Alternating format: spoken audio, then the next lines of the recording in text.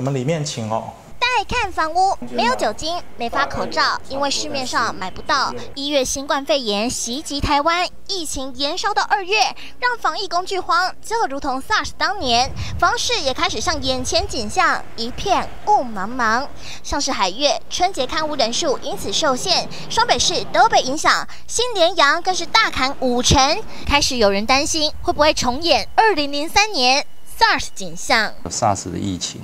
影响到国内外的景气的一个复苏。SARS 发生时，还是房仲业协理的张世宗，时隔十七年都成总经理了。但回想起过去，中鼎大楼爆发员工感染 SARS，基和国宅成了收留隔离病人的区域，还有和平音乐风月，只要跟 SARS 沾上边，附近看屋量都受影响，仍然心有余悸。很多人都对外出啊或接触这件事情，大概都是非常的一个小心谨慎。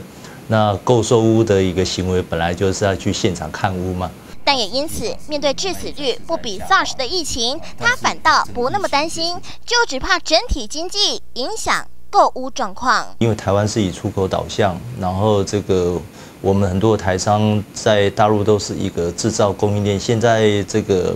复工的时间都一直往后延，整个这个旅游零售也受到一些影响。其实当年房贷利率约百分之四，现在在历史低档百分之一点六。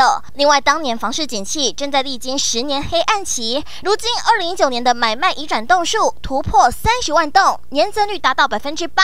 房市本来就在回温阶段，更何况科技发达，现在有房仲业推出线上看屋，也难怪专家们审慎乐观。除非疫情真的控控制不住，半年到一年后就可能真正出现有感让利，房市危险。八大新闻区陈博安采访报道。